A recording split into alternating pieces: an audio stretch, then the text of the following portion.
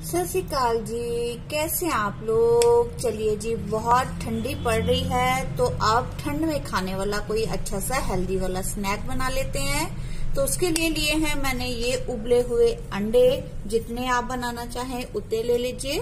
अंडों को ऑलमोस्ट मैंने फुल बॉइल्ड ही किया है, ताकि उसकी गोली मेल्टो के बाहर ना निकले। तो अंडे के कर लिए हैं मैंने दो दो पीस आप चाहें तो इसका चार पीस भी कर सकते हैं। अब ये एक बाउल में ले लिया है मैंने एक कच्चा अंडा। पहले इसको बहुत अच्छे से हमने बीट कर लेना है। एक अंडा और डालूँगी इसमें। और अच्छे से बीट कर लेंगे। और बीट किए हुए अंडे में मैं डाल रही हूँ अदरक लहसन का पेस्ट। ये टेस्ट के अकॉर्डिंग डालिए। इसमें मैं ऐड कर रही हूँ ये बारीक कटी हुई पालक। पालक ना हो तो हरा धनिया भी यूज़ कर सकते हैं। दोनों में से कोई भी चीज़ डालिए या दोनों डाल लीजिए।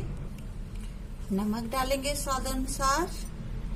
अंडे हमारे फीके हैं बॉईल किए हुए ना तो इसमें थोड़ा सा नमक ज़्यादा डालेंगे। लाल मिर्च का पाउडर ये काली मिर्च, और डालिए इसमें मैं ये हरी मिर्च कुटी हुई, ये टेस्ट के अकॉर्डिंग डालिए, और सबको बहुत अच्छे से मिला के ये घोल तैयार हो गया हमारा। अब यहाँ पे लिए हैं मैंने ब्रेड क्रम्स ब्रेड क्रम्स ना हो तो जो ताजी ब्रेड घर में होती है, उसको भी हम मिक्सी में पीस लेंगे। और ब्रेड क्रम्स में भी भी थोड़ा थोड़ा नमक डाल दी हूँ, क्योंकि जो हमारे अंडे हैं उबले हुए, वो फीके हैं। तो ऊपर की कोटिंग और अंदर जो हमने बनाया है घोल, उनमें नमक मिलाया है। और थोड़ी सी इसमें मैं चिली फ्लेक्स भी मैच कर रही हूँ ऐड टेस्ट अच्छा आएगा। ताजी ब्रेड आप मिक्सी में पीस लीजिएगा पाउडर कर लीजिएगा सेम ही टेस्ट आएगा, उससे भी काफ़ी अच्छा बनेगा ये स्नैक अब एक एक पीस हम अंडा लेंगे, इसमें अच्छे से कोट करेंगे. अच्छी सी कोटिंग इसके नीचे की साइड पे कोटिंग हो नहीं पाएगी तो इस तरह से ऊपर उठा के आप करिएगा. ऊपर रख देंगे थोड़ी सी पालक वगैरह इसके ऊपर, और इसको सीधा डाल देंगे ब्रेड क्रम्स के अंदर. और जो हाथ दूसरा हमारा सूखा है, उसको हम ब्रेड क्रम में यूज़ करेंगे। अंडे वाला गीला हाथ मत लगाइएगा ब्रेड क्रम में।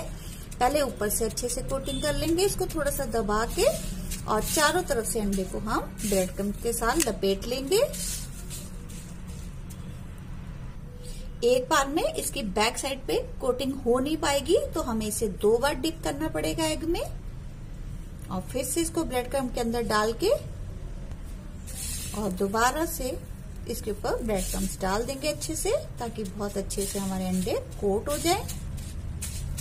और ये ये कर लिया हमने अच्छे से कोट इसी तरह से सारे पीसेस हम अपने तैयार कर लेंगे।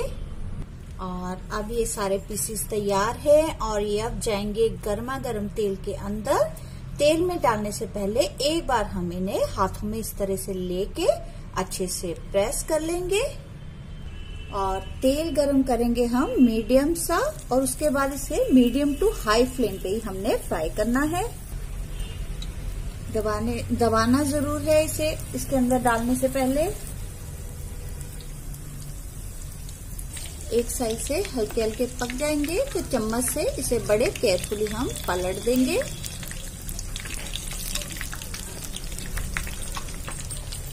और इसको हमने अंडे में कोट किया था, उस वजह से इस तरह से तेल में झाग आएगा। फ्लेम हमने कभी मीडियम और कभी हाई रखना है, लो नहीं करना है बिल्कुल भी। और सुनहरी कलर आने के बाद एक एक करके उठा के इन्हें मैं छन्नी में रख रही हूँ। तेल इनका थोड़ा सा मिचट जाए तो हम बाहर निकाल लेंगे इसको। ये बाहर से बहुत ही क्रिस्पी और कड़क वाला स्नैक हमारा तैयार हो गया है। और ये तैयार हो गया हमारा कड़कती ठंड में खाने के लिए एक बढ़िया सा नाश्ता, साथ में गर्मा गर्म चाय। सर्व करेंगे इसे विथ हरी चटनी और टमाटो सॉस ले लेंगे साथ में। लग रहा है ना टेम्पटिंग तो कीजिए इसको ट्राई और बताइए मुझे कैसे लगा आपको ये स्नैक तो मिलते हैं नई रेसिपी के साथ। Thank you